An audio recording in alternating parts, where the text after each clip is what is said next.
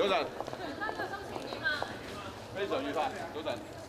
but it is the first time that uh, you, you find a candidate of the people challenging the incumbent anointed by the establishment.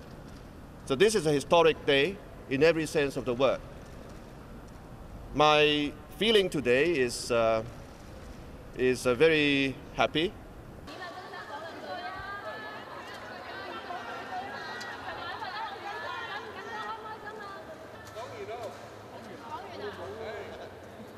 嗰啲葉田係高炮當選，最緊要我點解投票俾阿曾蔭權？因為曾蔭權我平時同佢好交往，佢嘅理念咧好重要。嘅選嘅真係好嘢，小圈子選舉萬歲，香港人瓜柴。I come here to in protest of the small circle selection. I demand the SL government to return the power to the people.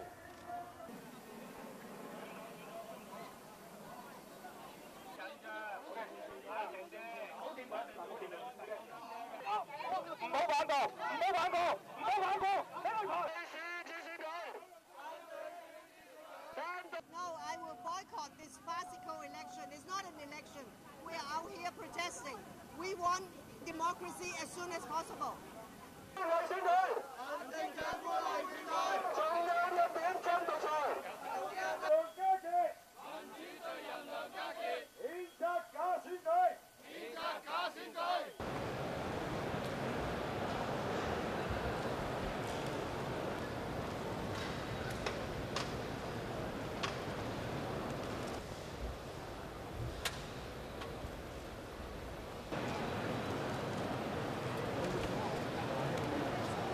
The number of votes cast for candidate number one, Mr. Alan Leong Kar Kit, is 123.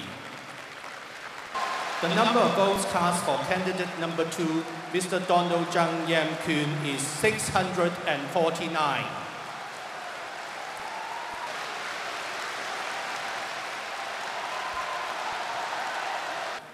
That candidate number two, Mr. Donald Tsang Yam Kuen, is elected at the election. To Mr. Tsang. Of the total number of valid votes, I hereby declare.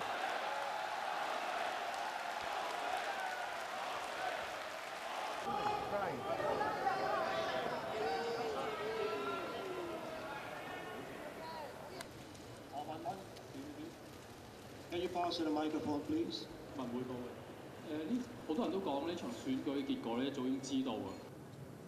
I'm honored to stand before you today as the re-elected Chief Executive of the Hong Kong Special Administrative Region.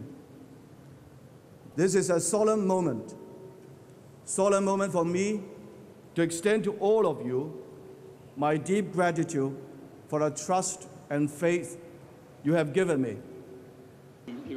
选票咧远远超于你嘅预期，定系另有原因呢？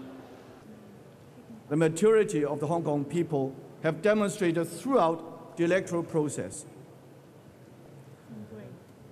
This has made this election very special, and it laid out a solid foundation for moving towards universal suffrage. 务司司长个位，如果吓系唔变，都系许仕仁先生，担唔担心俾我？ Will will the next chief executive be elected by the people? They will certainly be elected by the people of Hong Kong.